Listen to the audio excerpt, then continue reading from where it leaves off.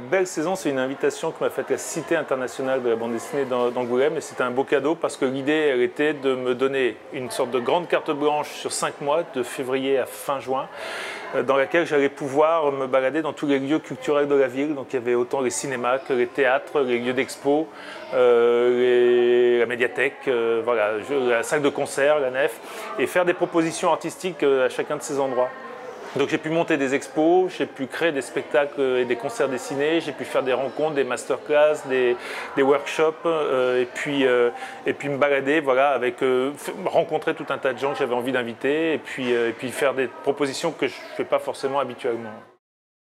Le fait d'emmener mon dessin sur d'autres terrains que la page de bande dessinée et de sortir mon dessin de, l'atelier, de mon atelier, c'est quelque chose que je fais depuis plus d'une quinzaine d'années. Euh, que j'ai toujours aimé faire, me retrouver sur scène pour dessiner avec des danseurs, des musiciens, des comédiens, aller rencontrer des auteurs de littérature et trouver des manières de se rencontrer autour d'une performance, autour de quelque chose qui sera peut-être parfois euh, inédit qu'une seule fois et, qu'on ne rejouera pas. C'est des choses que je fais depuis toujours et c'est des choses qui nourrissent mon travail surtout. Moi je suis autodidacte, euh, autodidacte pur jus et mon travail euh, je le fais grandir et moi je me nourris de ces expériences-là, de toutes ces choses qui me sortent de mon atelier qui du coup m'oblige à dessiner autrement, à penser mon dessin autrement, à penser la manière de raconter même des histoires autrement. Et puis après, je ramène ça dans mon atelier, et puis ça transforme tout simplement les livres aussi que, je fais. Donc c'est quelque chose auquel euh, je pense que si la Cité de la bande dessinée m'a fait cette proposition, c'est parce qu'il savait que j'étais disponible euh, pour ce genre de choses et que j'étais même euh, intrigué par ce genre de choses et que, j'allais pouvoir y répondre, en tout cas avec, euh, avec envie. Moi, j'étais un petit garçon extrêmement réservé et solitaire. Je passais énormément de temps à dessiner tout seul dans mon coin. Je suis né au milieu d'une famille de comédiens, donc de gens qui était toujours en mouvement et avec euh, beaucoup de, beaucoup de monde à la maison. Il y avait toujours énormément de brassage à la maison et moi j'avais tendance à me, à mettre un peu à l'écart. Et parmi les endroits dans lesquels j'aimais bien aller me réfugier pour, euh, pour dessiner notamment et pour en tout cas m'extraire de ce flux, euh, il y avait les jardins.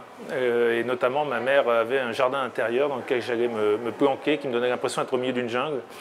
Et c'est quelque chose que j'ai toujours regardé. D'ailleurs, une des images de l'exposition euh, de la belle saison me représente à l'âge de 5-6 ans au milieu de cette, ce jardin d'intérieur.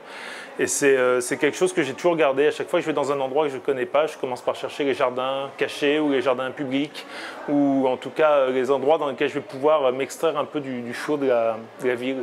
Donc c'est un truc que j'ai toujours fait. Quand on m'a proposé cette carte blanche, le sujet il est venu même avant le titre de la, de, même avant le titre de la belle saison. j'ai eu envie de faire quelque chose qui tourne autour de ça, de, de l'univers de la végétation, du jardin, de ces endroits dans lesquels on peut à la fois se, cacher, se sentir ailleurs et, parfois en allant juste euh, à côté de chez soi. Quoi.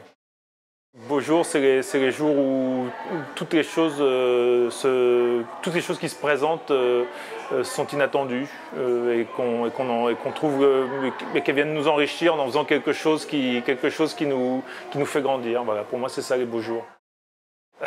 Ah, mince, il faudrait, un ami qui, m'aide. Tu sais, des fois, quand tu as les pieds dedans, toi, tu t'en rends plus compte.